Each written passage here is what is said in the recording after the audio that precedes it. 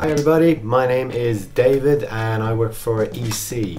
Hi, I'm Carmel. I'm from International House Dublin. Hello, I'm Donal and I'm a teacher with Atlantic Languages Galway. I'm here today just to give you some tips uh, to encourage you to continue learning and practicing English at home. Number one, listening. We all love a good film, and watching films in English with subtitles is a really great way of improving your listening skills. Start off with a film you know well. In this way, you can focus on the language used a little bit more. Um, my top tip, I think, is is to enjoy the language. Here's a question.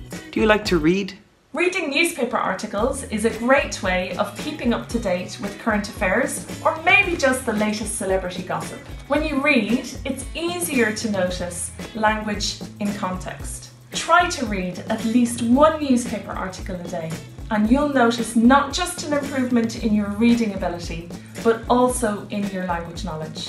You know, you should be watching films, watching TV shows, reading books, but it has to be something you enjoy, it has to be something you like. Whatever you like doing in your language, bring it over into English. Even consider uh, reading books that you've already read in your language, read them through English so that it's that little bit easier. You have that support and you can enjoy them all over again. What do you do when you see a word that you don't understand? Do you at least have a pretty good idea about what the word could mean. And after all of that, is it even necessary to completely know the exact meaning of the word? Is it enough to guess that it's probably a type of clothing, probably for hunting, and probably old fashioned? If that's enough for you, then you can move on with your reading and continue with your story. How about instead of searching for a definition of the word or a translation of the word, type the word into Google Images and see what happens. It won't always be precise, but you can get a good instant idea about what this word is in context. What we want to do is take what you learn and bring it into uh, into practice.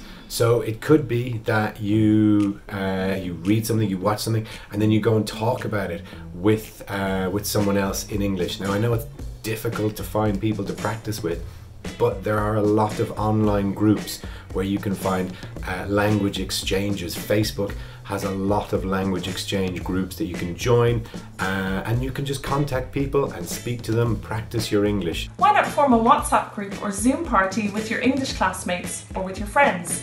Make a regular arrangement to speak to them in English.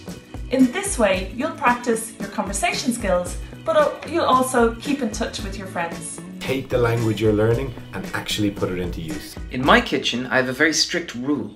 All recipes must be followed in English. The English language must be used when we're chopping our mushrooms, when we're baking our potatoes, and when we're boiling our peas. And in order to keep ourselves on track, we normally follow recipes in English. So follow the directions of the recipe and uh, even say what you're doing while you're doing it.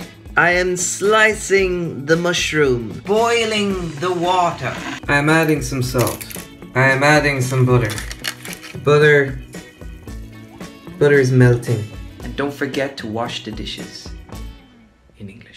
Vocabulary notebooks are an amazing way of remembering all the new phrases and expressions you learned while you're watching your films or while you're reading your newspaper articles. And in this way, you'll have a really memorable, really useful, and really personal dictionary of new language just for you. The most important thing is that you do a little bit every day. As the saying goes, practice makes perfect and with a little bit of practice every day, you'll notice your English just gets better and better.